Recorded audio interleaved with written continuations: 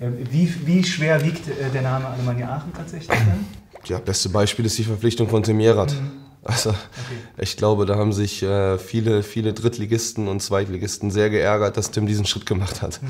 Ähm, Tim Jerat ist ein erfahrener Spieler, der hat hochgespielt, der hat zig Zweit-, Drittligaspiele.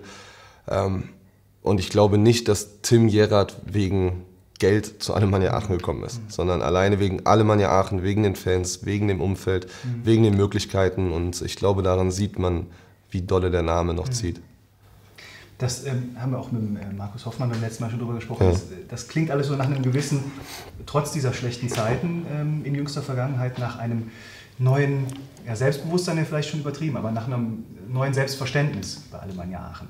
Ähm, zum Beispiel wirkt die Mannschaft deutlich gefestigter das ganze Umfeld wirkt irgendwie gefestigter ähm, und selbstbewusster. Wie, wie kommt das aus deiner persönlichen Sicht? Also ist das nur rein sportlich begründet, dass es äh, im Moment äh, eigentlich sehr gut läuft? Oder? Ja, ich finde, ich denke, das hat, das ist witzig, dass du es gerade ansprichst wegen Hoffi. Äh, der mhm. saß ja schon hier und äh, Hoffi hat natürlich wieder mal ein blendendes Interview gegeben. Markus, einfach grandios. Nein, aber ich denke, der Umbruch ganz im Ernst kam mit Markus Hoffmann, muss man einfach so sagen. Ähm, wir hatten vorher schon, schon teilweise gute Spiele gemacht letzte Saison, aber dann kam plötzlich der Hoffi aus dem Nichts gegen Ferl. Mhm. brutal wichtiges Spiel, was wir da gewonnen haben, weil danach wären wir wieder unten drin gewesen. Ich glaube, das war wirklich ein Knackpunkt. Ein riesengroßer Knackpunkt, das Spiel in Ferl, das haben wir gewonnen. Hoffi war plötzlich da, wir haben Stabilität bekommen und der Trainer konnte mal endlich nach der Saison, die wir gut abgeschlossen haben, in Ruhe arbeiten. Wir hatten ein Gerüst, was gestanden hat. Mhm. Wir konnten Spieler dazu pflichten, die eingeschlagen sind jetzt. Ich glaube, diese Ruhe, die man, die, wo, die Trainer mit arbeiten konnten und wir arbeiten konnten mit dieser Ruhe, lässt auch ein bisschen, bisschen reflektiert aufs Umfeld ein bisschen, bisschen, bisschen aus. Und äh, das in Allgemeinen mit, mit natürlich guten Leistungen, die wir auch abgeliefert haben. Also ähm, ich spreche auch dafür ganz ehrlich, oder ich sage auch ganz ehrlich, wir haben zu Hause noch kein Spiel verloren die Saison mhm. mit Testspielen gegen 1. FC Köln und äh, Bayer Leverkusen. Ich glaube, das spricht auch ein bisschen dafür, dass Ruhe einkehrt. Mhm. Und äh, die Ruhe müssen wir jetzt noch ins Positive umwandeln, dass es wieder unruhiger wird, aber in dem Sinne unruhiger mit einem geilen Gefühl. Also nicht unruhiger negativ, sondern unruhiger, uh, da könnte ja was wirklich jetzt äh, entstehen und da wollen wir hin. Mhm. Gutes Beispiel war jetzt das Pokalspiel. Ne? Also ja. Ich glaube, 70 Minuten, über ja. 70 Minuten mit neun Mann ja. äh, zum Ende gebracht und äh, auch hochverdient gewonnen. Wie hast du das gesehen?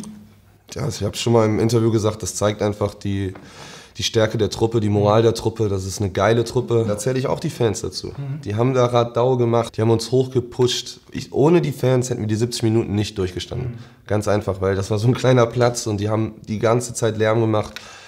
Peter Hackenberg hat in der Halbzeit was richtig, richtig Schönes gesagt, ähm, das uns motiviert hat. Das hat mich ein bisschen an El Pacino in, an jeden verdammten Sonntag erinnert. Mhm. Wir waren im Kreis und er hat gesagt, Männer, stellt euch vor, wir gewinnen dieses Spiel jetzt hier.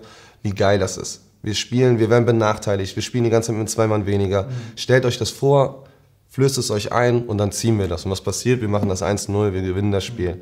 Und das ist einfach nur, nur geil für die Truppe. Mhm. Ja, und dann ausgerechnet äh, äh Schein Dagestan, der das Tor dann macht. Ja, das ist aber wieder mal Fußball, ne? wie, ja, er leibt und lebt. Also wir kriegen zwei rote Karten, verschießen Elfmeter und was passiert? Schein Dagestan bei seinem alten Verein macht das Tor. Und du holst dann noch Sekunden vor Schluss noch so ein Ding raus da mit der Parade. Da, da stimmt ja wieder alles, ne? Bei so einer ja, ist halt auch schön, dass ich was dazu beitragen konnte. Ne? Also vorher haben die Jungs ja 70 Minuten lang geackert. Mhm. Also ich glaube, es ist noch keiner in seinem Leben so viel gerannt wie in diesem Spiel, weil es war ja nur hin und her. Mhm.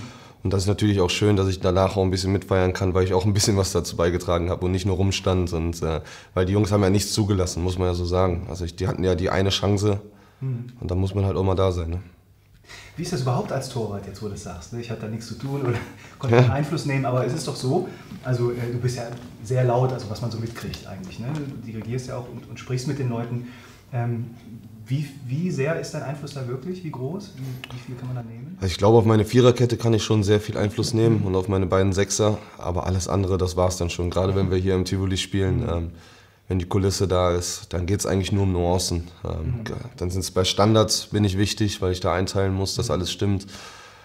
Äh, viel Einfluss nehmen kann ich dann nur nach Situationen. Mhm. Wenn zum Beispiel Hoffi einen Ball geil geklärt hat oder Peter, dass ich den nochmal pushe und mhm. äh, oder wenn ein Fehler passiert ist, dass, dass, dass man aufbaut, äh, so wie gegen Leverkusen Tobi, Tobi Moore, der super gemacht hat, oder Marvin Brauweiler, wo man gemerkt hat, dass die extrem nervös waren mhm.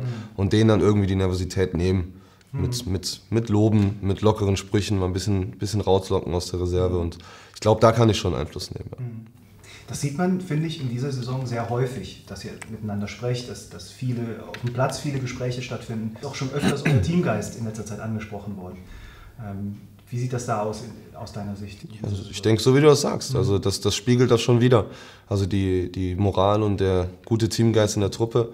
Wir hatten jetzt einen Sponsorenabend vorgestern, vorgestern, ja, und da wurde das auch angesprochen und äh, da hat Eamon auch was Gutes gesagt. Ähm, ich glaube, es passt im Moment, dass man auch mal in der Kabine sehr witzig sein kann untereinander, aber es passt dann auch, wenn es auf dem Platz immer zur Sache geht. Und keiner nimmt das persönlich, sondern wenn man jemanden anschreit, wenn, wenn ich jetzt jemanden anschreie, der sagt, okay, gut, ist so, eigene Belange nach hinten, Team nach vorne. Und ich glaube, das war die letzten Jahre nicht so, sondern da waren es zu viele Eigenbrötler und äh, jetzt ist es eine Gemeinschaft. Und äh, nur mit einer Gemeinschaft kann man was erreichen. Mhm. So wie Vic, äh, Victoria, schon, wie Fortuna Köln letztes Jahr. Ja. Die waren spielerisch nicht gut, aber die haben überall als Einheit agiert. Mhm. Beste Beispiel war äh, am Hallenturnier in Gummersbach. Da haben die Jungs gespielt, die nicht oft spielen und alle anderen waren auf der Tribüne und bei jedem Tor sind die ausgerastet. Und da saßen wir schon so und haben gesagt, boah, das ist schon eine Truppe. Mhm. Und nur als Truppe kann man, kann man was erreichen. Und so wie du das sagst, wir reden mehr miteinander, wir reden positiv miteinander, kacken uns aber auch mal an an der richtigen Stelle und das gehört dazu. Mhm. Ein paar Spiele sind jetzt gespielt. Ähm, wir haben eben schon mal kurz über die Mannschaft gesprochen. Äh, und jetzt über Ziele. Was ist drin mit diesem Team tatsächlich? Ähm, ja. Schauen wir mal die nächsten drei Spiele.